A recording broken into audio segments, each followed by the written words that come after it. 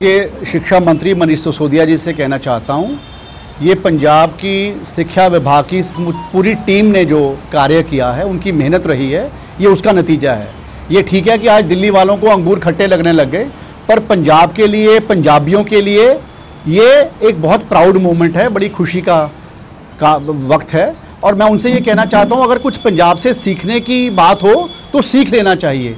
हर वक्त अपना stand change नहीं हमें करना चाहिए।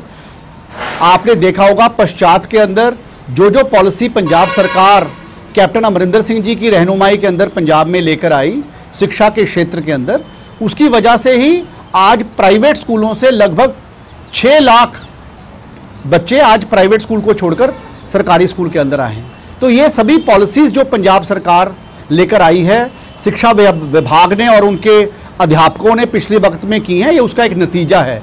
चाहे टीचर ट्रांसफ़र पॉलिसी की बात आई 100 परसेंट टीचर्स की मेरिट के आधार पर उनकी बदली होना स्मार्ट स्कूल पॉलिसी की बात आई डायरेक्ट रिक्रूटमेंट ऑफ़ टीचर्स की बात आई सर्विस कमीशन के माध्यम से प्रिंसिपल कार्डर और हेड टीचर और सेंटर हेड टीचर और ब्लॉक प्राइमरी एजुकेशन ऑफिसर की नियुक्ति होना।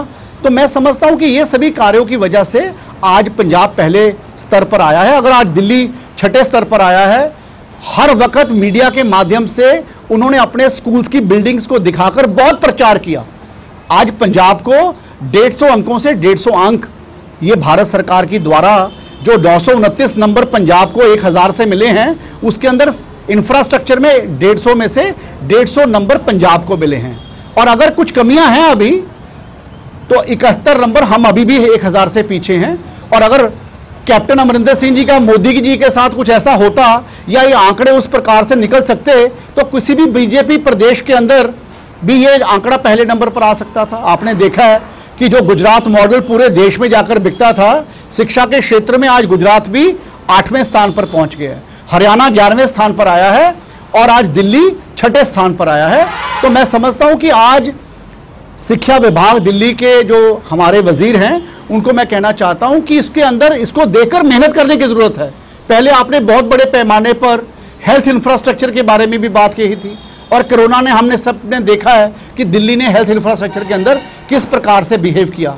तो मैं समझता हूँ कि आज ज़रूरत है कि अगर पंजाब ने कुछ अच्छा काम किया है और राजनीतिक तौर के ऊपर भी आप लोग हमेशा पंजाब में आने की कोशिश करते हो, पर पंजाब से कभी सीखना नहीं चाहते।